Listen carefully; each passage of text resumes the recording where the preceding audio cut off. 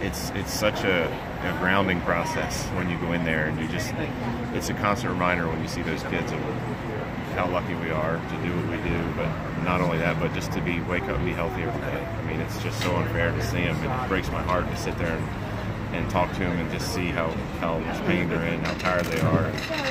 It's um it's a tough thing to try to figure out how to talk to him, and what to say and try to just maybe cheer him up a little. But um, definitely a humbling thing to be able to come here and hopefully maybe help a little bit.